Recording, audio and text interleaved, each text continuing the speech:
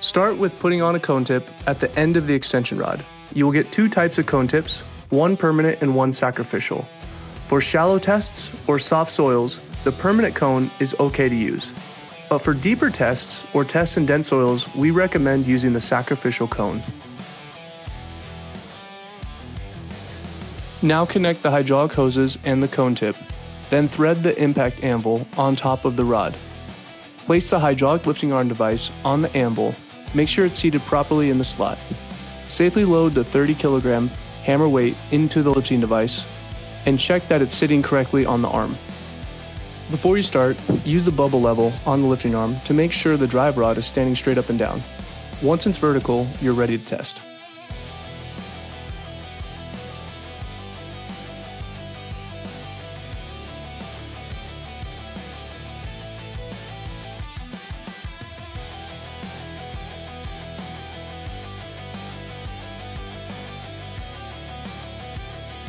Operate the pedal to lift and drop the hammer. Each drop is one blow. Count how many blows it takes to drive the rod 10 centimeters into the ground. The rods are notched every 10 centimeters, so use those marks as your guide. Keep the same reference points such as the ground level, concrete, or a pipe throughout the test so your numbers stay consistent.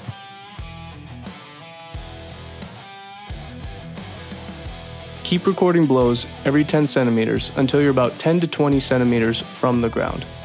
At that point, stop and add another rod.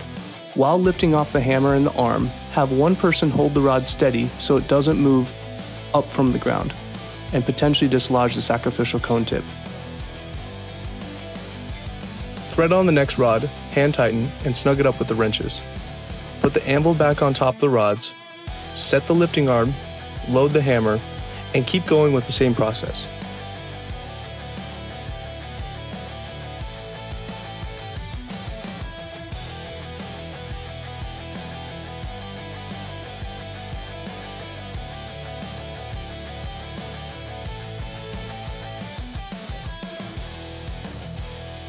In very soft soils, you might see a single blow drive the rod more than 10, 20, 30, or even 40 centimeters.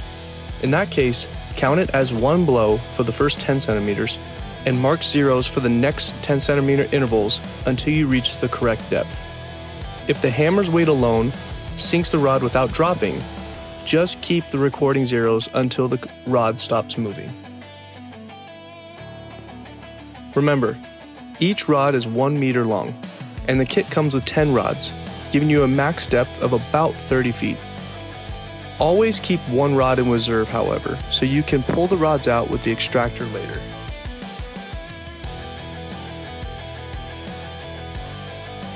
When you're done with the test, shut off the power unit and release pressure in the hydraulic lines by pumping the pedal back and forth a few times before pulling out the hydraulics. Then grab the red hydraulic extractor, hook it up in the power unit, clamp the vice grips on the rod and hydraulically extract the rods, unthreading them as you go.